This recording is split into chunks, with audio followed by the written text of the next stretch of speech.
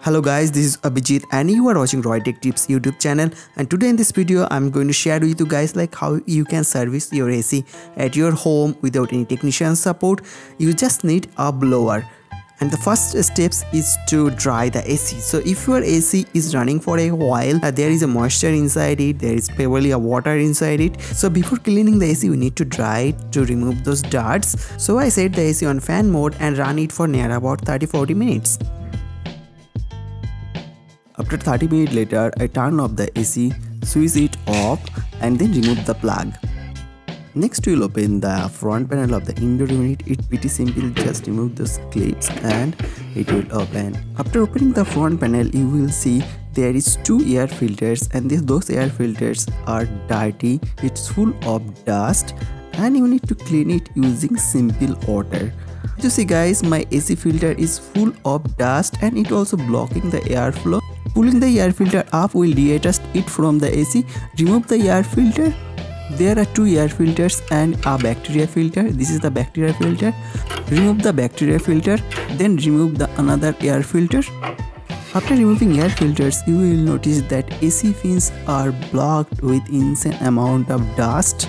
To remove those dust, you can use a air blower or a air compressor. I am going to use a air blower. Turn the air blower on and move the air blower head vertically and make sure blower head doesn't touch the AC fin.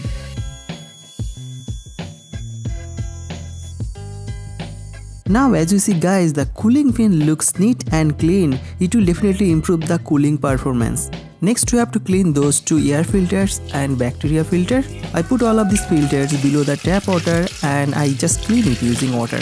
And if your air filter is really dirty, you can use some detergent or you can use some liquid soap to clean it up. After clean up, put those air filters some places to dry it up. After this I'm going to use an air conditioning cleaner and purifier named Blue Oxy. It will kill bacteria and germs, also clean remain dust from the AC. It will also remove any kind of bad smell from the air conditioner. I bought it from Amazon. If you want to check it, all the link is in the description below. This is optional but definitely this will give you an awesome fresh air from your AC. I am spraying it on the metal pin just once and leave it for 5 minutes.